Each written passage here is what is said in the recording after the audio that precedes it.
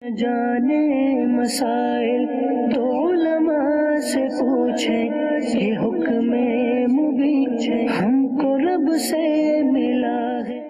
الحمد للہ رب العالمین، والصلاة والسلام علی سید المرسلین، اما بعد، فاعوذ باللہ من الشیطان الرجیم، بسم اللہ الرحمن الرحیم۔ الصلاة والسلام علیکہ یا رسول اللہ وعلا آلکہ و یا حبیب اللہ۔ الصلاة والسلام علیکہ یا نبی اللہ وعلا آلکہ و اصحابکہ یا نور اللہ۔ مدنی چند کے ناظرین پروگرام دارالفتاء اہل سنت میں آپ کو خوش آمدید کہتے ہیں، اللہ رب العالمین ہم سب کو احکام شریعت دین متین کے مسائل، احکامات سیکھ کر، سمجھ کر ان پر عمل پیرا ہونے کی توفیق عطا فرمائے۔ ہمارے پیارے رسول صلی اللہ علیہ وآلہ وسلم کا فرمان مبارک عظمت علی شان ہے، زینو مجالسکم بصلاتی علیہ۔ فإن صلاتکم علیہ نور لکم یوم القیامہ اپنی مجلسوں کو مجھ پر درود پڑھ کر آراستہ کرو کہ تمہارا مجھ پر درود پڑھنا قیامت کے دن تمہارے لیے نور ہوگا۔ صلو علی الحبیب صلی اللہ تعالی علی محمد صلی اللہ علیہ وآلہ وسلم۔ صلاة و سلام علیکہ یا سیدی یا رسول اللہ وعلا آلکہ و اصحابکہ یا سیدی یا حبیب اللہ۔ آج کے ہمارے مجیب اور مہمان مفتی صاحب ہیں قبلہ مفتی سجاد صاحب۔ حضرت کیسے ہیں؟ الحمد۔ آپ کو خوش آمدید کہتا ہوں ماشاءاللہ۔ جزاک اللہ خیر۔ پہلا سوال ہمارے پاس جو موجود ہے کہ اللہ رب العالمین یہ گھر سے مکان سے جہد سے ان چیزوں سے پاک ہے۔ لیکن جب مساجد کی بات آتی ہے تو ان کو کہا جاتا ہے، یہ اللہ کا گھر ہے۔ اسی طرح مسجد حرام کو بھی بطور خاص اللہ کا گھر اور کعبۃ اللہ، کعبہ مشرفہ، اس کو بھی اللہ کا گھر کہا جاتا ہے۔ تو اس سے کیا ہے؟ یہ سوال ہے کہ یہ، اس کو گھر کیوں کہا جاتا ہے؟ اللہ کا گھر کیوں کہا جاتا ہے؟ بسم اللہ الرحمن الرحیم۔ اصل بات یہ ہے کہ مسجد کا مطلب ہے سجدہ کرنے کی جگہ۔ اور پھر ہمارے ہاں یعنی ہماری اردو لغت میں یا دیگر لغتوں میں یہ بات معروف ہے کہ جہاں پر جو کام بکثرت ہوتا ہے تو پھر اسی کی طرف نسبت کر دی جاتی ہے۔ جیسے کتاب گھر قرآن گھر تو جہاں پر کتابیں ہوتی ہیں تو اس کو کتاب گھر کہا جاتا ہے۔ ٹھیک ہے۔ تو مسجد کو اللہ کا گھر اس اعتبار سے کہا جاتا ہے کہ مسجد میں جو کام ہوتا ہے یا جو مسجد جس مقصد کے لیے بنائی گئی ہیں اس کا مقصد ہی اللہ پاک کی عبادت ہے۔ کہ یہ وہ گھر ہے کہ جہاں پر خاص اللہ پاک کی عبادت کی جاتی ہے یہ گھر خاص اللہ کی عبادت کے لیے ہی بنایا گیا ہے۔ اس میں کوئی دوسرا کام نہیں ہوگا۔ تو اس لیے چونکہ اس میں اللہ پاک کی عبادت ہوتی ہے تو تشریفاً یعنی شرف کے طور پر فضیلت عزت اور کرامت کے طور پر اس جگہ کو جہاں پہ اللہ کی عبادت ہوتی ہے اس کو اللہ کی طرف منسوب کر دیا جاتا ہے۔ اور یہ کہہ دیا جاتا ہے کہ یہ اللہ کا گھر ہے۔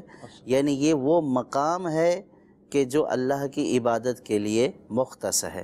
تو اس اعتبار سے اس کو اللہ کا گھر کہا جاتا ہے۔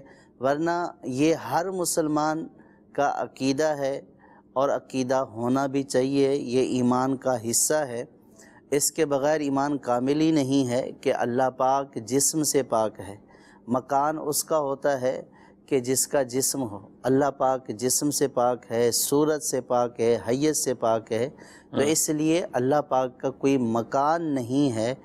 ہاں جہاں اللہ کا گھر یا اللہ کا مکان کہا جاتا ہے تو وہ اس لیے کہا جاتا ہے کہ وہاں پہ خاص اللہ کے ہی کام ہوتے ہیں جو اللہ نے ہمارے اوپر لازم کیے ہیں۔ ماشاء اللہ ماشاء اللہ ویسے ساری جو کچھ زمینوں میں آسمانوں میں سب کچھ اللہ کی ملتی جی بالکل۔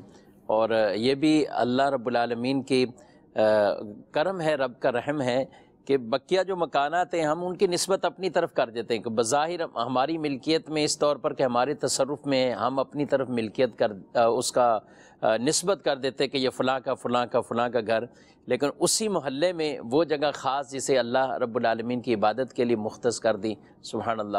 تو اسے پھر اللہ کے گھر کے ساتھ موسوم کر دیا جاتا ہے۔ ان گھروں کے ساتھ جو اچھا تعاون کرتا ہے، تعلق اپنا قائم کر لیتا ہے۔ مسجدوں میں آنا جانا اپنا معمول بنا لیتا ہے۔ جن کے دل مسجدوں میں لگ جاتے ہیں، اللہ انہیں قیامت کے دن اپنا عرش کا سایہ عطا فرمائے گا۔ اور جن کا آنا جانا مساجد کی طرف ہو، لوگ اس کی گواہی دیتے ہوں، تو یہ اس کی بخشش کی ایک علامت بن جاتا ہے۔ تو جو اللہ کے گھروں کو آباد کرتے ہیں، اللہ ان سے محبت فرماتا ہے، ان کے گھروں کو بھی آباد فرماتا ہے، انہیں ان کی دنیا کو آباد و شاد فرما دیتا ہے اور آخرت بھی ان کی برکات سے مالا مال فرماتا ہے۔ تو اللہ کے گھروں کو، مساجد کو یہ ہم نے بنانا بھی ہے اور انہیں عبادت کے ذریعے باقاعدہ جو آباد کرنا ہے، یہ آباد کاری بھی ہمارے ذمے ہے۔ تو لہذا ہمیں یہ کوششیں کرنی چاہیے۔ اللہ عمل کی توفیق عطا فرمائے۔ آپ کی کالز کی طرف بڑھتے ہیں، دیکھتے ہیں ناظرین کیا پوچھنا چاہتے ہیں۔ انڈیا سے رضوان اتاری عرض کر رہا ہوں۔ عرض یہ تھی مفتی صاحب کی خدمت میں کہ نماز کے جو مفسدات ہے اور مکر تحریمی، اگر ان کو بھول کر اگر کوئی کرتا ہے تو اس کے نماز میں کیا حکم ہوگا؟ جیسے کہ انگلیاں چٹکانا ہے، یہ مکر تحریمی ہے لیکن یہ بعضوں کا جان بوجھ کر نہیں ہوتا ہے خود بخود انگلیاں چٹک جاتی اسی صورت میں نماز کا کیا حکم ہوگا؟ ٹھیک ہے مزید۔ جی میں نے مفتی صاحب سے یہ سوال کرنا تھا کہ اگر بینک میں ہم نے پیسے ڈالے تو وہ ایک لاکھ مگر ایک ہزار روپے دیتے ہیں تو اس کی یہ سود ہے کیا یا نہیں؟ یہ سوال کرنا تھا۔ ٹھیک ہے بینک میں پیسے انہوں نے ڈپوزٹ کیے ہوئے ہیں اس پر نفع حاصل کرتے ہیں۔ جی بڑھتے ہیں سوالات کی طرف۔ اور بلکہ پہلے ان کے جوابات لیتے ہیں۔ حضرت کچھ ایسے مفسدات انہوں نے کہا تو جو تو ویسے ہی نماز کو فاسد کرنے والے اعمال ہیں اور کچھ مکروات تحریمہ کا انہوں نے ذکر کیا۔ انگلیاں چٹکھانا جیسے اب یہ ویسے ہی انہوں نے کہا کہ ویسے ہی چٹک جاتی ہیں تو اس میں آدمی کا کوئی قصور ہے؟ ایک ہے خود سے چٹکنا اور ایک ہے چٹخانا تو یہ جو انگلیوں کا چٹکنا ہے اگر خود سے اٹھتے بیٹھتے انگلیاں چٹک رہی ہیں اور یہ چٹخا نہیں رہے ہیں، تو اس میں تو نماز کے اوپر کوئی فرق نہیں پڑے گا کہ یہ فعل ان کی طرف سے نہیں پایا گیا۔ بعض اوقات پاؤں موڑتے ہیں تو چٹکنا شروع ہو جاتی ہیں، آواز آتی ہے۔ تو اس پر تو کوئی نماز کے اوپر اثر نہیں پڑے گا۔ اور ایک یہ ہے کہ جان بوجھ کر انگلیاں چٹخانا، یہ مکروع تحریمی ہے۔ اس صورت میں نماز کا جو ہے وہ اعادہ کریں گے۔ اور باقی رہا مفسدات یعنی کوئی ایسا فعل نماز میں ہوا کہ جس سے نماز فاسد ہو جاتی ہے۔ یہ چاہے انہوں نے جان بوجھ کر کیا ہے یا ان سے ہو گیا دونوں صورتوں میں نماز فاسد ہو جائے گی۔ ٹھیک ہے مفسدات سے نماز جو ہے وہ فاسد ہو جائے گی۔ اچھا، دوسرا سوال یہ ایک بھائی نے کیا تھا کہ بینک میں پیسے رکھے ہوئے ہیں اور اس پر وہ نفع اور پروفٹ حاصل کرتے ہیں۔ یہ بات تو تقریباً تمام مسلمان ہی جانتے ہیں کہ بینک میں جو سیونگ اکاؤنٹس ہوتے ہیں اس میں جو رقم رکھوائی جاتی ہے اور اس پر جو پروفٹ ملتا ہے، یہ سود ہے۔ اور اس کی وجہ یہ ہے کہ بینک میں جو رقم رکھوائی جاتی ہے، اس کی شرعی حیثیت قرض کی ہے۔ اب کسی کو قرض دیا اور اس قرض کے اوپر وہ نفع دے، تو شریعت متحرہ نے اس کو سود قرار دیا ہے۔ حضور نبی کریم صلی اللہ تعالیٰ علیہ وسلم نے ارشاد فرمایا کہ ہر وہ قرض کے جو نفع لے کر ہے وہ سود ہے۔ ٹھیک ہے۔ تو اس قرض کے اوپر چونکہ نفع ملتا ہے اس میں بھی کوئی قائد نہیں ہے کہ جو ہے وہ کتنا ملتا ہے مقرر ہے نہیں مقرر۔ چونکہ قرض پر نفع ملتا ہے چاہے مقرر ہو یا نہ مقرر ہو کم ہو یا زیادہ ہو بہر صورت یہ سود ہی ہے۔ اور ایسا اکاؤنٹ ختم کروانا ضروری ہے اور مسلمان کو ایسے تمام معاملات کے جو سودی معاملات ہیں ناجائز اور گناہ پر مشتمل ہیں ان سے بچنا فرض ہے۔ ٹھیک ہے مزید کو اگر غسل فرض ہو تو جو گھر میں ہم پیدل گھومتے ہیں جوتی کے بغیر یا کارپیٹ بھی ہم گھومتے ہیں تو کیا اس کے اوپر پھر جائے نماز بچا کے نماز پڑھ نماز پڑھ سکتے ہیں؟ ٹھیک ہے مزید۔ میرا سوال یہ ہے میرے بائکوں کا شو روم ہے۔ اگر میں روزانہ بیسس پہ اگر جو خیرات دیتا ہوں اگر میں زکات جیسے نکالتا ہوں اگر میں روزانہ جیسے غریبوں کو تو اس میں یہ شمار ہو سکتی ہے زکات؟ میں ٹھیک ہے ہر روز کچھ نہ کچھ جو خیرات اتارتے ہیں ان کو زکوٰۃ میں بھی شمار کرنا چاہتے ہیں۔ انسان پر جب غسل فرض ہوتا ہے تو اب یہ جہاں کہیں بھی چل رہا ہے گھر میں کارپیٹ قالین تو یہ کیا جگہ ناپاک ہو جاتی ہے۔ جیسا کہ یہ سائل بھی شاید یہ سمجھ رہے ہیں کہ پھر اس کے بعد وہاں نماز پڑھنی ہوتی ہے تو جائے نماز بچھائیں کیا کریں؟ یہ نجاست جو غسل فرض ہونے کی صورت میں ہوتی ہے یہ حکمی نجاست ہے۔ بظاہر جسم پر اس کا کوئی وجود نہیں ہوتا ہے۔ تو اب اگر اس نجاست کی صورت میں یہ کسی چیز کو ہاتھ لگاتا ہے ہاتھ پر کوئی نجاست لگی ہوئی نہیں ہے ٹھیک ہے۔ تو اس سے وہ چیز نجس نہیں ہوگی۔ اور گھر میں چلنے پھرنے سے جہاں جہاں قدم رکھا تو بھی وہ جگہ نجس نہیں ہوگی۔ تو اس لیے اگر اس کارپیٹ پہ نماز کارپیٹ پہ جائے نماز بچھا کر نماز ادا کر دیتا ہے تو شرن کوئی حرج نہیں ہے۔ کیونکہ نماز کی شرائط میں سے یہ ہے کہ جگہ پاک ہو کپڑے پاک ہوں۔ تو جس جگہ پر نماز پڑھ رہا ہے تو اگر بالفرض نجاست تھی بھی صحیح اور اوپر جائے نماز جو ہے وہ بچھا دی ہے تو اس صورت میں نماز ہو جائے گی۔ نماز نہ ہونے کی کوئی وجہ نہیں ہے۔ ٹھیک ہے اور یہ سمجھنا کہ میرے یا حالت جنابت میں گھر کے اندر چلنے پھرنے سے ہی ایسے ہی وہ جگہ ناپاک ہو جائے گی۔ اصل میں یہ سمجھنا تو اس وجہ سے ہے کہ اس کا علم نہیں ہے۔ تو یہ تو علم ہے کہ میرے اوپر نجاست ہے جو میں مجھے اس کو ختم کرنا ہے۔ لیکن کس نجاست سے جو ہے وہ دوسری چیز ناپاک ہو جاتی ہے اور کس سے نہیں ہوتی اور پھر نجاست ہے بھی صحیح ایک زہری نجاست ہے۔ زہری نجاست اگر کسی دوسری جگہ پر لگے گی تو وہ جگہ بھی ناپاک ہو جائے گی۔ ٹھیک ہے۔ اور ایک جو ہے وہ حکمی نجاست ہے یعنی نظر نہیں آ رہی ہے لیکن شریعت اس کے اوپر بھی نجاست کا حکم لگاتی ہے۔ تو ایسی نجاست میں کسی چیز کو چھونے میں ہاتھ لگانے میں کوئی دوسری چیز ناپاک نہیں ہو یعنی یہ ابھی حالت اور کیفیت ناپاکی والی ہوئی جی۔ ظاہر کوئی ناپاکی اس پر جی۔ نہیں ہے۔ ٹھیک ہے۔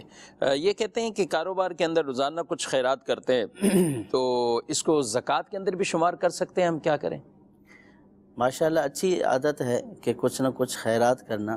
اگر یہ چاہتے ہیں کہ یہ جو خیرات کے طور پر دیتے ہیں تو یہ اس کو زکوٰۃ کے طور پر شمار کر لیں۔ تو شرن اس میں کوئی حرج نہیں ہے۔ یہ اس کو زکوٰۃ کے طور پر شمار کر سکتے ہیں جبکہ مستحق زکوٰۃ کو دیتے ہوں۔ ٹھیک تو اس صورت میں جتنا دیتے جائیں اس کو لکھتے جائیں۔ اور پھر جب نصاب کا سال مکمل ہو تو اس پر حساب کتاب کر لیں۔ جو باقی ہے دینی ہے باقی تو وہ ادا کر دیں۔ اور اگر ادا ہو چکی ہے تو پہلے سے ہی ادا ہو چکی ہے۔ لیکن اس کے ساتھ ساتھ یہ بھی ہے کہ زکوٰۃ تو فرض ہے وہ تو دینی ہی دینی ہے۔ ٹھیک ہے۔ لیکن اس کے ساتھ ساتھ نفلی صدقات دینا یہ بھی بیس برکت و رحمت ہے۔ لیکن اگر کسی کو یہ ہے کہ میں نفلی صدقات دیتا رہوں اور آخر میں زکوٰۃ رہ جائے گی تو پھر اس کے لیے یہ ضروری ہے کہ وہ پھر زکوٰۃ کی نیت سے ہی مستحق کو دے ٹھیک ہے۔ اب اس میں ہوتا یہ ہے کہ جو دکانوں والے عام طور پہ دیکھے ہوئے کچھ سکے سائڈ پہ کرتے رہے کچھ کھلے پیسے ایسے ہی رکھنے ان کو سائڈ پہ۔ پھر یہ دیکھے بغیر ہی بس ان کو ہے کہ کوئی بھی آئے گا اس کو کسی کو فقیر کو ٹالنا بھی مقصود ہوتا ہے۔ کسی جو عام بھی ایسے ہوتے ہیں کہ جو روزمرہ جن کا معمولی یہی ہوتا ہے بھیک مانگنے کے ایک طرح کا تو اب زکوٰۃ جب دے رہا ہے تو بڑی ایک ذمہ داری سے اس کو نہیں یہ ادائیگی کرنی پڑے گی کیا کہتے ہیں؟ بالکل زکوٰۃ کی ادائیگی تو ایک ذمہ داری والی ادائیگی ہے۔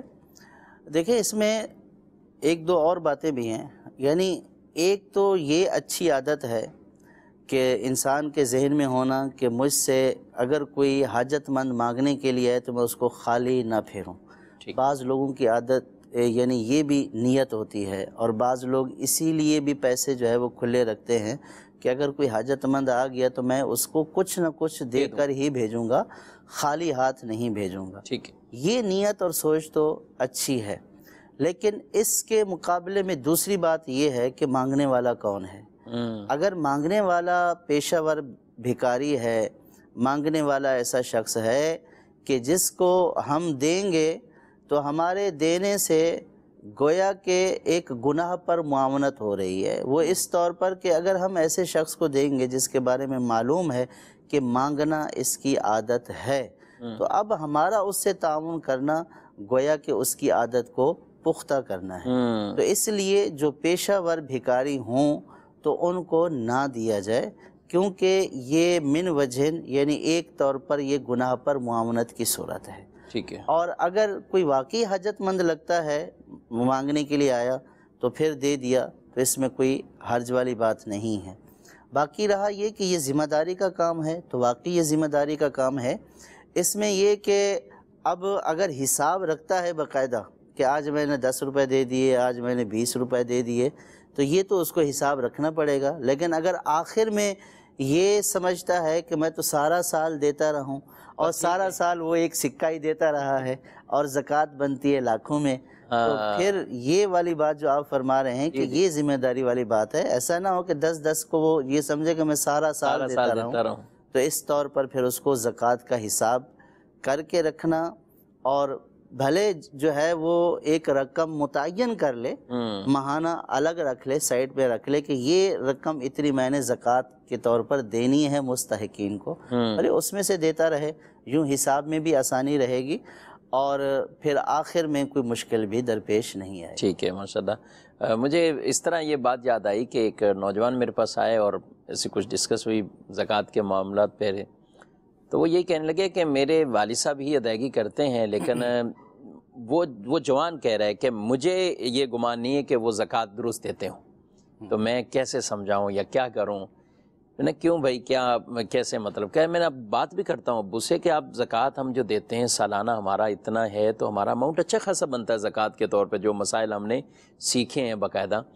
یہ جب ہمارے وہ آکام زکوٰۃ کے حوالے سے کورسز ہو رہے تھے تو اس میں شرکت کی تو پوری اس کو جب ڈیٹیل پتہ چلی تو وہ بھی انہوں نے بھی شمار کیا تو ہماری زکوٰۃیں تو بہت بنتی ہیں، لیکن ہم نے بہت کم دیتے ہیں اس طور پہ تو اب ان کے والد صاحب نے کہا کہ بھئی میں دے دیتا ہوں، میں جمعے والے دن بھی کوئی پانچ چھ سو روپے جیب میں رکھ کے جاتا ہوں، میں ویسے بھی عام جاتا ہوں ان دنوں میں۔ کہیں محافل میں بھی جانا ہوتا ہے تو میں کچھ پیسے لے کے جاتا ہوں، وہاں دے دیا، کچھ ادھر دے دیا، تو میں دیتا رہتا ہوں، یہ سر۔ اب وہ خود بڑے کنفیوز تھے بیچارے، وہ کہ میرے پاس تو اب میرے اختیار میں تو نہیں ہے۔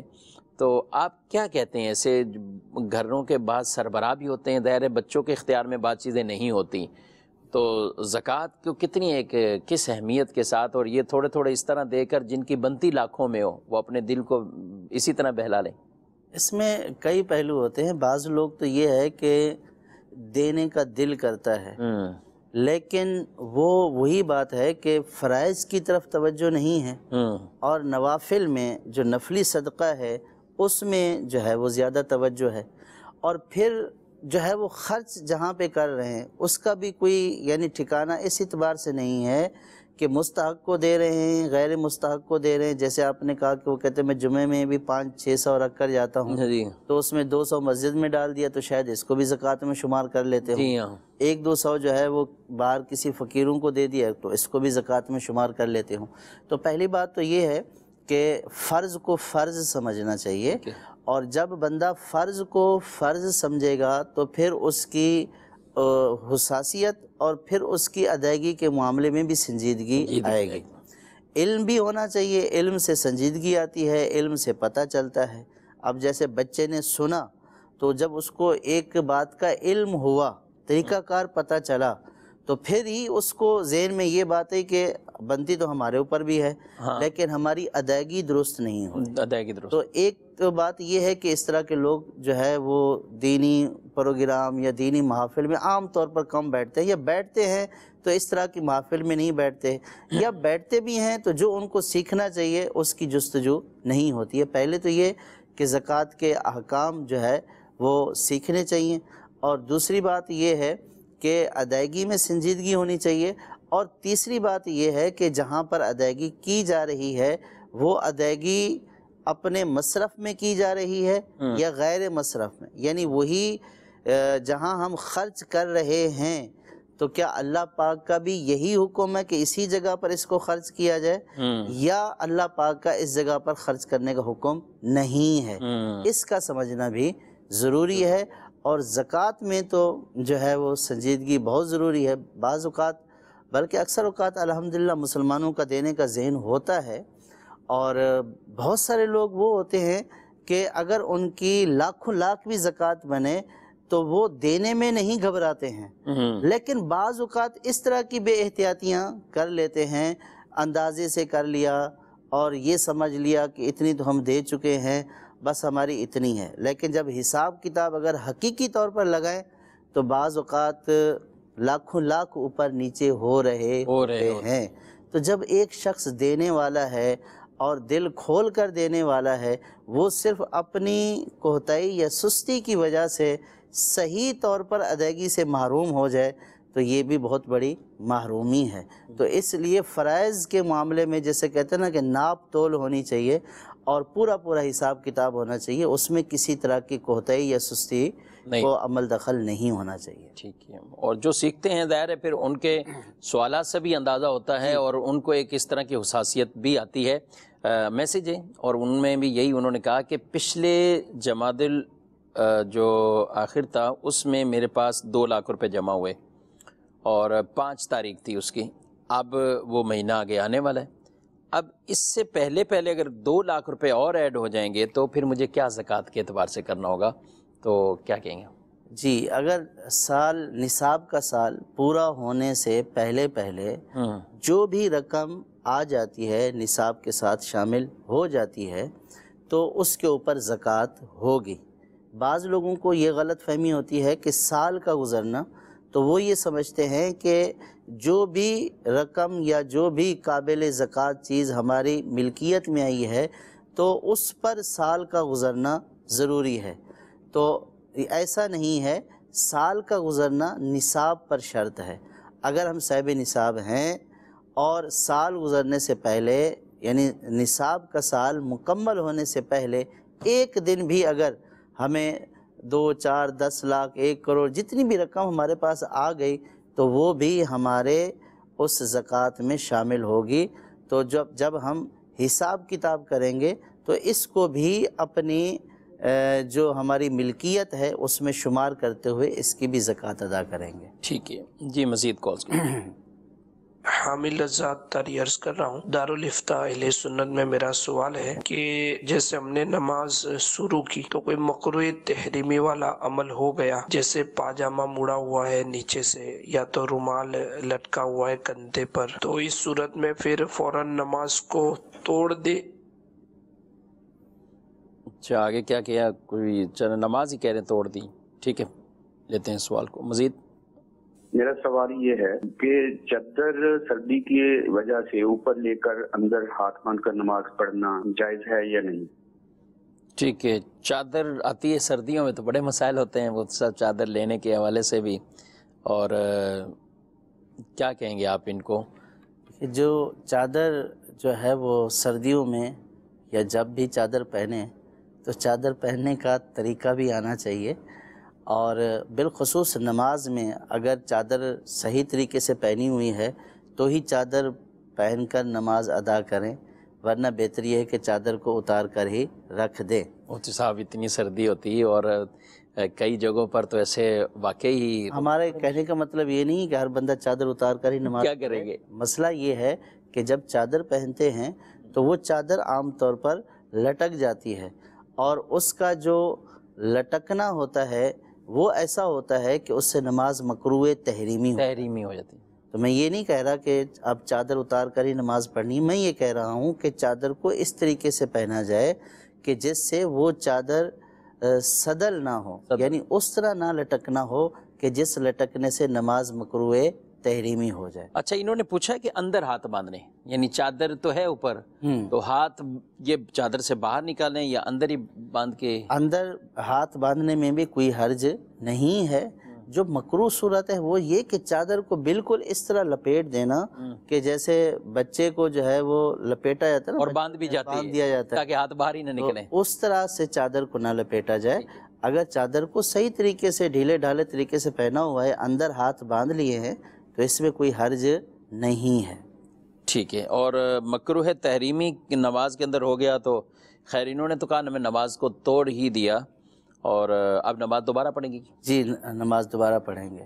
صحیح ہے۔ اور اگر مکروح تحریمی کے ساتھ ہی اس طرح انہوں نے پڑھ لی تو بھی اس کا واجب الادا ہے۔ یہ واجب الادا ہوگی۔ ٹھیک مزید کال۔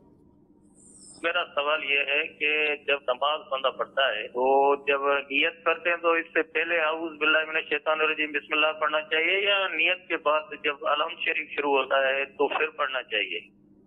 ٹھیک ہے مزید۔ سوال ہمارا یہ ہے کسی بینک کی طرف سے میں گاڑی لے رہا ہوں مقصد گاڑی کی قیمت ہے ایک لاکھ پچاس ہزار گاڑی کی قیمت ہے۔ لاکھ بینک میں جب جاتی ہے تو قسطوں کے اوپر وہ ہم کو تقریباً ایک لاکھ ساٹھ ہزار کی، ستر ہزار کی جا کے مجھے بیس ہزار، تیس ہزار بینک ہم سے ایکسٹرا لیتی ہے۔ اس کو سود کہا جائے گا یا کو پراپر کہا جائے گا؟ ٹھیک ہے۔ گاڑی ہے اور اس پر ایکسٹرا جو ہے وہ قیمت اور یہ سلسلہ کیا کہیں گے؟ یہ پہلا سوال تو نیت سے پہلے کہ نیت، اگر انہوں نے، نیت سے پہلے بھی آؤز باللہ پڑھنا ہے، کیا کر دیکھیں، نیت سے پہلے تو آؤز باللہ، بسم اللہ پڑھنا کوئی ضروری تو نہیں ہے، اور نہ ہی یہ نماز کی جو ہے وہ سنن میں سے ہے۔ تو اگر نیت کرنے سے پہلے بسم اللہ الرحمن الرحیم پڑھ لیتے ہیں، تو یہ وہی کا، یہ وہی حدیث کے اوپر ایک عمل ہے کہ کوئی بھی جو ہے وہ عزت والا شرف والا کام شروع کرنے سے پہلے بسم اللہ پڑھ لیں۔ لیکن بسم اللہ پڑھنا ضروری نہیں ہے۔ ہاں جب ہم نے نیت باندھ لی ہے تو اب ان کا سوال یہ تھا کہ جب ہم نیت کرتے ہیں تو اس وقت بسم اللہ یا عوض باللہ پڑھیں یا صورت فاتحہ سے پہلے پڑھیں۔ تو نماز میں سنت یہ ہے تکبیر تریمہ کہتے ہی ہم ثنا پڑھیں گے۔ ثنا کے بعد اعوذ باللہ اور پھر بسم اللہ الرحمن الرحیم۔ اور اس کے بعد ہم صورت فاتحہ پڑھیں گے۔ تو صورت فاتحہ سے پہلے بسم اللہ الرحمن الرحیم پڑھنا اور اس سے پہلے، اعوذ باللہ من الشیطان الرجیم پڑھنا یہ سنت ہے۔ جی دوسرا سوال یہ گاڑی کے حوالے سے کہہ رہے ہیں اور بالخصوص جو گاڑی بینک کے حوالے سے انہوں نے کہا، تو اس میں تو کئی طرح کی چیزیں ایک تو انہوں نے قیمت کا تفاوت کہا، لیکن اس کے علاوہ بھی کئی اور صورتیں بھی۔ دیکھیں جو ایگریمنٹ ہوتے ہیں کسی بھی ادارے کے، وہ خاص ایگریمنٹ ہوتے ہیں۔ اور ایگریمنٹ کو دیکھنے کے بعد ہی کوئی حکم بتایا جا سکتا ہے۔ رہا یہ کہ چیز جو ہے وہ ڈیڑھ لاکھ کی ہے، اور وہ اگر دے رہے ہیں قسطوں پر، وہ دو لاکھ روپے میں دے رہے ہیں۔ تو قسطوں پر جو عام طور پر چیز دی جاتی ہے، ادھار میں دی جاتی ہے، اس کی جو قیمت متعین کی جاتی ہے، وہ عام طور پر روٹین کی قیمت سے زیادہ ہوتی ہے۔ تو زیادہ قیمت اگر متعین کر دی گئی یعنی کہ ڈیڑھ لاکھ کی چیز دو لاکھ میں بیچنی ہے اور دو لاکھ متعین کر دیا گیا کہ جو ہے وہ دن اوپر ہوں یا نیچے ہوں، بس دو لاکھ روپیہ ہی ادا کرنا ہے تو اس صورت میں تو کوئی ناجائز والا پہلو نہیں ہے۔ چاہے کسی شخص سے خریداری کریں عام دکاندار سے کریں یا کسی ادارے سے کریں۔ ہاں ناجائز وہ پہلو ہوتا ہے کہ قیمت متعین نہ ہو۔ یعنی آپ نے جو ہے وہ لیٹ کر دیا تو پھر اس کی قیمت بڑھ جائے گی پھر لیٹ کر دیا تو پھر بڑھ جائے گی۔ تو یہ ناجائز ہے۔ اور اگر قیمت ایک ہی طے کر لی گئی ہے اور اس میں کوئی ناجائز شرط نہیں ہے تو اب جو ہے وہ ڈیڑھ لاکھ والی چیز دو لاکھ روپے بیچنے میں اور خریدنے میں شرن کوئی حرچ نہیں ٹھیک ہے اور اس کے علاوہ ایکسٹرا بھی ناجائز چیزیں نہ ہو۔ لیزنگ جی۔ میں جیسے عام طور پہ کچھ اوپر پرنٹیاں لگتی ہیں اسی طرح انشورٹ کے سلسلے ہیں جی۔ دیگر یہ یہ ناجائز بھی نہ ہو۔ جی ناجائز شرطیں نہ ہوں عقد میں اور یہ ہر کسی کے لیے ہیں چاہے عام شخص سے معاہدہ کریں یا کسی یا کسی ادارے سے کریں۔ ٹھیک ہے۔ چلیں مزید سوالات کی طرف بڑھتے ہیں بلکہ کچھ میسیجز پڑھ لیتے ہیں۔ خواتین کی طرف سے ایک سوال ہے کہ آج کل کچھ ایسے لباس ہوتے ہیں کہ جس میں بہت چست لباس ہوتے ہیں، جسم سے بالکل چپکے ہوتے ہیں، تو خواتین کا ایسے لباس پہننا اور پہن کر نماز پڑھنا، کیا کہیں گے؟ دیکھیں ایسے لباس پہننا غیر محارم کے سامنے تو اس، یہ تو اصلاً ہی جائز نہیں ہے۔ اور گھر میں بھی ایسے لباس نہ پہنیں کہ جو فاسقات یعنی شریف عورتیں نہیں پہنتی ہیں۔ گھر میں بھی وہ لباس نہ پہنے جائیں۔ اور جہاں رہا نماز کا معاملہ، تو اگر جو ہے وہ ستر چھپا ہوا ہے، تو پھر جو ہے وہ نماز تو ہو جائے گی، لیکن ایسے کپڑے پہننا یا ایسی وضع قضا وضع قطع اختیار کرنا یعنی حلیہ اختیار کرنا اور فاسقات کی نقل کرنا یہ شریف عورتوں کے لائق نہیں ہے اور اس کی شریعت بھی اجازت نہیں دیتی۔ نہیں دیتی۔ ٹھیک ہے۔ مزید کون؟ فرض نماز کی تیسری اور چوتھی رکعت میں اگر الحمد شریف کے بعد بسم اللہ شریف پوری پڑھ لی۔ بھول سے یا قصدن کر کے اور پھر رکو میں گیا تو کیا سجدہ سہو واجب ہوگا؟ ٹھیک ہے تیسری اور چوتھی کا انہوں نے کہا تو بسم اللہ پڑھیے۔ صورت بھی اگر ساتھ ملانے کوئی تو کیا کہیں گے؟ کوئی حرج نہیں ہے بلکہ جو اکیلا نماز پڑھ رہا ہے جس کو منفرد کہتے ہیں تو اس کے لیے تو یہ مستحب ہے کہ وہ صورت فاتحہ کے ساتھ صورت بھی ملائے۔ اور اگر بسم اللہ پڑھ لی تو بھی کوئی حرج نہیں ہے۔ ٹھیک ہے مزید۔ سن حضور، میرا مفتی صاحب سے سوال ہے کہ مسجد کا چندہ وہ ہوتا ہے میرے پاس۔ اکثر لوگ مجھے کہتے ہیں جی اس سے چینج دے دیں۔ تو اس کے لیے شرعی حکم کیا ہے؟ میں چینج دے سکتا ہوں کہ نہیں؟ ٹھیک ہے۔ ایک تو چینج دینے کا سوال ہے، مزید بھی یہ جو ہے وہ مسجد کے حوالے سے کوئی اور تو اور مسیح سوال مفتی صاحب سے میرا سوال ہے کہ فجر کی نماز اگر قضا ہو جائے تو کس ٹائم تک پڑھ سکتے ہیں؟ مطلب قضا کس ٹائم پڑھتے ہیں؟ ٹھیک ہے۔ مسجد کے حوالے سے ایک تو یہ تبدیل چینج دینے کا ہے اور دوسرا ایک سوال ہے ہمارے پاس کہ اگر کوئی قرض بھی لیتا ہے اور میں خود خزانچی ہوں تو کیا کہتے ہیں؟ عام طور پہ جس کے پاس اس طرح کے پیسے ہوتے ہیں دونوں مسئلوں میں پہلے آپ وضاحت فرمائیں۔ چینج دینے میں کوئی حرج نہیں ہے، لیکن چینج دینے میں احتیاط ضروری ہے۔ اور احتیاط یہ ہے کہ جتنا جو ہے وہ چینج یعنی رقم سامنے آئی ہے، اتنا ہی ہو۔ اب اگر بالفرض جو ہے وہ کمی زیادتی ہو گئی، اگر بالفرض پانچ دس روپے کم ہو گئے، اب خزانچی صاحب کہتے ہیں کہ کوئی مسئلہ نہیں ہے، پانچ دس روپے کم ہو گئے۔ تو میں ڈال دوں گا بھلے آپ یہ لے لیں۔ تو یہ شرن جائز نہیں ہے جتنی رقم ادھر سے لی ہے اتنی کا ہی چینج دیا جائے دیا جائے گا۔ اور اس میں ادھار بھی نہ کیا جائے۔ کہ یوں پہلے دے دیا بعد میں جو ہے وہ لے لیں گے یہ تو پھر ادھار دینا اوہو۔ بعض اوقات ایسا ہوتا ہے نا کہ قریبی دکاندار ہوتے ہیں وہ لے کے چلے جاتے ہیں۔ پہلے سے چندہ لے کے چلے جاتے ہیں۔ کمیٹی والوں کو بولا ہوتا ہے کہ ہمیں کھلے چاہیے۔ تو یہ جا کر دے دیتے ہیں اور دو چار دن بعد ہفتے میں واپس لے لیتے ہیں۔ تو یہ قرض دینا ہوگا جو ہمارا دوسرا سوال ہے وہ بھی اسی سے متعلق ہے کہ مسجد کے چندے سے قرض دینا کیسا؟ تو مسجد کے چندے سے قرض دینا جائز نہیں ہے۔ تو چینج کروانے کی بعض صورتیں بھی قرض والی ہو جاتی ہیں۔ تو اس لیے جو مسجد کے خزانچی ہیں کمیٹی انتظامیہ ہیں ان کو یہ بات یاد رکھنا چاہیے کہ مسجد کی رقم نہ اپنے استعمال میں لا سکتے ہیں نہ ہی کسی دوسرے کو قرض دے سکتے ہیں۔ یہ دونوں صورتیں ناجائز ہیں۔ ٹھیک ہے۔ اور اگر دیے ہوئے اب یہ ظاہر ہے جو پہلے انہوں نے ایسے کیے ہوئے فی الفور ان کو کیا کرنا چاہیے؟ ہاں، اگر دیے ہوئے ہیں تو فلف اور پہلی بات تو یہ ہے کہ یہ اگر ان کو دے دیے تو اب یہ انہوں نے غصب کیا ہے شرعی اعتبار سے غصب ناجائز ہے۔ تو اب ان کو تاوان تو دینا ہے۔ ان سے لے کر جو ہے یہ مسجد کو دے دیں، لیکن گناہ گار ہو چکے ہیں اور توبہ بھی کرنی ہوگی۔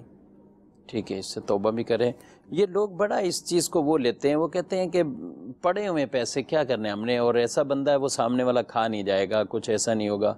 اور ایک تو یہ بھی پوچھنے والے نے کہا کہ بھائی، یہ میرے پاس پڑے، اس سے زیادہ تحفظ وہاں ہے۔ اور میں نے دے دیے ہیں اور میرے بھی گھر میں پڑے ہیں، یہ ادھر ادھر پڑے ہیں، تو وہاں سے ہم نے چیک بھی لے لیے ہیں لیکن ان کو استعمال کرنے کے بھی دے دیے گزارش یہ ہے کہ کوئی اپنے گھر کا کوئی عورت سونا اٹھا کر نہیں دیتی۔ اور اپنے پاس بھی پڑے ہوئے پیسے کوئی کسی دوسرے کو ایسے اٹھا کر نہیں دیتا۔ ہے کتنا ہی تحفظ والا مقام کیوں نہ ہو۔ تو جب ہم بالخصوص سونے کی مثال اس لیے دی کہ پیسے تو بعض اوقات بندہ دے ہی دیتا ہے لیکن سونا جو ہے وہ کوئی بھی نہیں دیتا۔ اگر کوئی یہ کہے کہ ان کو دے دیں وہ استعمال کرے گا تحفظ وہاں زیادہ ہے۔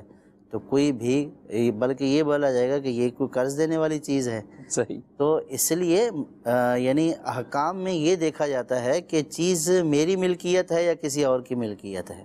تو جب چیز میری ملکیت ہی میں نہیں ہے تو اس کے اوپر ملکیت والا تصرف بھی جائز نہیں ہے۔ جب چیز دوسرے کی ہے تو جتنی مجھے دوسرے کی طرف سے اجازت ہے تو اتنا تصرف میں کر سکتا ہوں۔ اور جتنی اجازت نہیں ہے وہ تصرف میرے لیے ناجائز ہوگا۔ تو مسجد کی انتظامیہ ہونے کے ناطے جو مسجد کی رقم ہوتی ہے وہ متولی کے پاس بطور امانت ہی ہوتی ہے، تو امانت والی رقم میں تصرف نہیں کرتے ہیں ایسا۔ تو اس لیے جائز نہیں ہے۔ اپنی ملکیت والی رقم ہے تو آپ جس کو چاہیں دے دیں، اس میں کوئی مسئلے والی بات نہیں۔ مسئلہ یہ ہے کہ یہ اپنی ملکیت ہے ہی نہیں تو اس میں ملکیت والے تصرف بھی جائز نہیں ہوں نہیں ہوگی، ٹھیک ہے۔ ایک یہ سوال ہے، کہتے ہیں کہ کوئی اسلامی بہن آن لائن ٹیوشن پڑھاتی ہیں اور ڈیڑھ گھنٹہ اس کی ٹائمنگ ہے دورانیہ ہے تو اس دوران نماز کا وقت بھی ہوتا ہے۔ تو یہ نماز پڑھیں۔ اور یہ آن لائن والوں میں مسئلے بعض اوقات یہ بھی ہوتے ہیں کہ کسی اور کنٹری میں پڑھنے والا ہے، سامنے جو جس کو بھی وہ پڑھا رہی ہیں وہ بچیاں دوسرے ملک میں ہوتی ہیں تو ان میں ٹائم کا بھی کافی فرق ہوتا ہے۔ تو وہاں نماز کا ٹائم نہ بھی ہو تو یہاں ہو چکا ہے تو کیا کریں؟ اس میں دو باتیں ہیں۔ سوال میں پہلی بات تو یہ ہے کہ اگر نماز کا کل وقت ہی اتنا ہے کہ جو ڈیڑھ گھنٹہ ہے یا اس سے کم ہے اسی ٹائمنگ میں آ رہا ہے۔ اسی ٹائمنگ ہی میں آ رہا ہے اور سارا اب انہی کو پڑھاتے رہیں گے تو نماز ہی قضا ہو جائے گی۔ تو یہ تو جائز نہیں ہے۔ نماز وقت میں ادا کرنی ہے بغیر کسی مکرو وقت کو لائے۔ تو نماز کو وقت میں ادا کرنا ہے ایسی نوکری ہی کرنا جائز نہیں ہے کہ جس نوکری کی وجہ سے نماز قضا ہو جائے یا جو ہے وہ نماز میں اتنی تاخیر ہو جائے کہ مکرو وقت داخل ہو جائے۔ اور دوسری بات اس میں یہ ہے کہ بعض لوگ جو ہے وہ نماز کا وقت اس کو سمجھتے ہیں کہ جب جماعت وغیرہ ہو رہی ہوتی ہے۔ یا اذان ہوئی اذان ہوئی تو کہا کہ نماز کا وقت۔ لیکن نماز کے وقت میں وسعت ہوتی ہے۔ ٹھیک۔ یعنی زیادہ وقت ہوتا ہے۔ جیسے اب ظہر کا وقت ہے وہ بالفرض جو ہے وہ ساڑھے بارہ سے شروع ہو رہا ہے تو وہ جو ہے وہ چار پانچ چھ تک یہاں کراچی میں جو ہے وقت رہتا ہے۔ اب اگر کوئی ڈیڑھ بجے پڑھا رہا ہے اور اس نے ڈیڑھ گھنٹہ جو ہے پڑھانا ہے تو اس صورت میں پڑھانے کے بعد بھی وقت باقی ہے۔ تو اب اگر وہ اس وقت میں نماز ادا کرتا ہے، تو یہ قضا نہیں بلکہ ادا ہی قرار پائے گی۔ تو خلاصہ یہ ہوا کہ نماز کے وقت میں وسعت ہے اور فارغ ہونے کے بعد بھی وقت مل جائے گا۔ مکرو وقت نہیں ہوگا، صحیح وقت مل جائے گا، تو بعد میں بھی پڑھی جا سکتی ہے۔ لیکن اگر اس کے بعد وقت نہیں ملے گا یا مکرو وقت داخل ہو جائے گا تو پہلے نماز ادا کرنا ضروری ہے اور اس کے بعد پھر اپنا دوسرا کام کیا جائے۔ ٹھیک ہے ان کو بتا بھی دیتے ہیں تو اور ان کو بھی پتہ ہوتا ہے تو اس میں کوئی اتنا۔ دیکھیں جو عام طور پر جو ہے وہ سوال جو ہے وہ دینی ہی پڑھانے سے تعلق ہے جی، جی۔ دینی ہو یا دنیاوی ہو دینی کو تو اور زیادہ احتیاط کرنی چاہیے۔ یعنی کہ سب سے مقدم چیز جو ہے وہ فرض ہے۔ اب وہ فرض کو اس کو مقدم رکھنا چاہیے اور بات طے کرتے وقت ہی یہ کہہ دینا چاہیے کہ جو نمازوں کے اوقات آئیں گے تو اس میں ہم نماز ادا کریں گے۔ تو اس لیے یہ اتنا وقت ہم نہیں دے سکیں گے۔ اس وقت کو بعد میں ایڈجسٹ کر لیں۔ جتنے وقت نماز میں صرف ہوا ہے وہ وقت بعد میں دے دیں۔ اور یہاں انہوں نے اپنا پوچھا تو میں کہوں گا کہ ان کو ان کا بھی خیال رکھنا چاہیے۔ اگر وہاں بھی جی۔ نماز کے وقت ایسے ہیں جی۔ تو جن کو پڑھا رہے ہیں ان کو پوچھنا بھی چاہیے۔ بالکل تربیت کرنی کیا خیال ہے؟ بالکل تربیت کرنی چاہیے۔ یعنی کہ یہ دینی استاذ ہے۔ تو دینی استاذ کو تو فرائض کو تو مقدم رکھنا چاہیے۔ بالکل۔ تو پہلے ان سے بھی پوچھنا چاہیے کہ آپ کے ہاں نماز کا وقت تو نہیں ہوتا۔ نماز کا وقت۔ اور اپنا بھی بتانا چاہیے کہ اس وقت میں اتنا وقت جو ہے وہ نماز کی ادائیگی کے لیے صرف ہوگا۔ لہٰذا اس کو بعد میں ایڈجسٹ کر لیا جائے گا۔ ٹھیک ہے۔ چادر میں نے منگوائی تھی میں نے کہا آپ کو پیش کر دیتا ہوں تو یہ یہ آپ نے مسئلہ تو بیان کیا ہے چادر کا۔ آپ خود ہی جی؟ آپ خود ہی فرما لیجیے میں خود مدرسہ کے ناظرین سردیوں میں عام طور پہ جب چادر مسجدوں میں بھی لوگ پہن کے آتے ہیں تو اس میں اب یہ چادر پتہ نہیں یہ اتنی ہیوی کہ نہیں اس طرح۔ تو یہ والا جو مکرو تحریمی ہم لوگ بیان کرتے ہیں نا وہ یہ والے اسٹائل ہے یعنی ادھر ہو یہ سیدھا سجاد صاحب آپ بھی ملازم فرمائیے گا۔ جی، جی۔ یہ دونوں اس کے جو چادر کے دونوں پلو کہہ لیں اس کو دونوں کونے یہ بالکل ایسے ہی چھوٹے ہوئے رہیں۔ یہ اور عام اسٹائل بھی ہماری دعوتوں میں بھی کچھ ایسا ہوتا ہے کہ آج کل بلکہ بڑے شہروں میں تو سردی کو بھی ظاہر فیشن مانا جاتا ہے اور چادریں بھی ایسی فیشن والی آتی ہیں۔ وہ سردی کیا روکتی ہیں؟ بس وہ ایک ڈیزائن بنے ہوئے ہوتے ہیں کہ یوں چادر لٹکانی ہو تو یہ والا جو انداز ہے اسی طرح کنارے لٹک رہے ہیں یہ دونوں کنارے لٹک رہے ہیں یہ مکرو ہے تحریمی والا ہے۔ اس کا ایک پیچھے ہو اور ایک آگے ہو یہ بھی ایک اسٹائل ہے پہننے کا کہ بس یوں ہی ڈال لیا۔ تو یہ بھی اسی میں آئے گا مکرو ہے تحریمی والا۔ نماز میں۔ نماز میں اس طرح جو ہے اس کو پہننا اور یہ مکرو تحریمی والی صورت ہوگی۔ کیونکہ عام پہنتے لوگ تو پھر وہ اسی طرح نماز بھی اگر شروع کر لیں تو یہ پھر ان کے لیے مسئلہ ہوگا۔ نماز میں اگر آتے ہیں تو بہتر یہی ہے کہ ہمارا کوئی بھی لٹک نہ رہا ہو، یہ اس طرح ہو یا اور آگے نکال لیں تو یہ آسانی۔ اور سب سے بہترین طریقہ جو حدیث میں جس کو بھی فرمایا گیا ہے کہ امام میں ان کے چادروں کے نیچے ہوں۔ یعنی چادر ان کے اماموں کے، یہ امامہ ہے اوپر یہ چادر ہے اور اب آپ چادر جو بھی ہیں اس کو پہنے اور اس کے ساتھ وہ آگے ہو۔ اب یہاں سے کوشش کر کے اگر اس کو کسی طرح یہ کر لیں گے، یہ چادر جتنی کہ ہے، اس کا احاطہ ہے اس کے مطابق ہے، لیکن آپ اگر اس طرح اچھی طرح لپیٹ لیں گے اور سر یہ بھی آپ کے اوپر آ گئی اور آگے والا بھی اور ادھر بھی آپ نے اس کو رکھ لیا کہ آپ بالکل ریلیکس ہو کے تھوڑا نماز آپ پڑھ لیں گے۔ تو امید ہے کہ یہ آپ کو نماز میں ڈسٹرب نہیں کرے گی۔ بعض کا پھر بار بار اترتی رہتی پھر لوگ اس کو عمل کثیر بھی ہو جاتا ہے عمل کثیر بھی ہو جاتا ہوگا بعض کا تو اس میں کر کے اور رکوع میں بڑی آزمائش ہو جاتی ہے اور اسی لیے میں نے کہا تھا کہ اتار کے رکھ دے پہننا نہیں آتا وہ اتار کے رکھ دے تاکہ نہ اس کی نماز فاسد ہو نہ مکروے تحریم۔ ہاں ایسا ہی ہوتا ہوگا۔ آپ نے کبھی پہنی امامت کرتے ہوئے ویسے؟ جی پہنی ہے۔ اچھا۔ لیکن پھر ظاہر ہے کہ آزمائش ہوتی کا لحاظ رکھنا پڑتا ہے اور بعض اوقات جلدی میں بندہ پہن لیتا ہے جی جی۔ آزمائش تو ہوتی ہے۔ آزمائش ہوتی ہے یہ ورنہ تو سارا توجہ ہی چادر کی طرف رہتی ہے نا بار بار گر رہی کیا کریں؟ چادر کی طرف توجہ جاتی ہے بار بار۔ پھر وہ جو نماز کا خشوع خضوع ہے جو مطلوب ہے وہ باقی نہیں رہتا۔ اور ویسے بھی امام ہیں، جب تراوی بھی پڑھاتے ہیں تو ان کو ایک اپنی اس کی گرمائش لگے۔ سب لوگوں کو سردی ہے تو لیکن وہ خود ان کی کیفیت ایسی ہوتی۔ تو میں آپ کے فارمولے پہ عمل کرتا ہوں کہ چادر پہن کے بھی آؤں تو اس کو مسلح پہ سائڈ پہ کر دیا۔ یا اتنی اگر لپیٹ لیے کہ اہتمام سے کہ پوری نماز میں کچھ بھی نہیں ہوگا تو پھر اچھی بات ہے، آپ اس طریقے سے بھی آپ نماز ادا فرمائیں۔ اللہ رب العالمین ہم سب کو عمل کی توفیق عطا فرمائے۔ احکام شریعت دین کے مسائل یہ سیکھتے رہنا چاہیے۔ اس سے ہماری اصلاح بھی ہوتی ہے، اعمال کی درستگی بھی ہوتی ہے۔ اور کئی چیزیں ایسی جو عقائد سے متعلق ہوتی ہیں، فرائض سے متعلق ہوتی ہیں کہ جس میں آدمی اگر کوتاہی برتا ہے تو وہ پھر ایک برسوں سلسلہ کوتاہی والا بعض اوقات ہو جاتا ہے۔ اور اگر خدا نخواستہ عقائد کے اندر ذوف اور کمزوری آ جائے تو یہ اور ایمان کے لیے کتنی ایک خطرے والی بات ہے۔ تو لہذا اپنے ایمان کے تحفظ کے لیے بھی علم ضروری ہے، مدنی چینل دیکھتے رہیے۔ اللہ ہم سب کو علم نافع عطا فرمائے۔ جانے مسائل تو علماء سے پوچھیں، یہ حکم مبین ہم کو رب سے ملا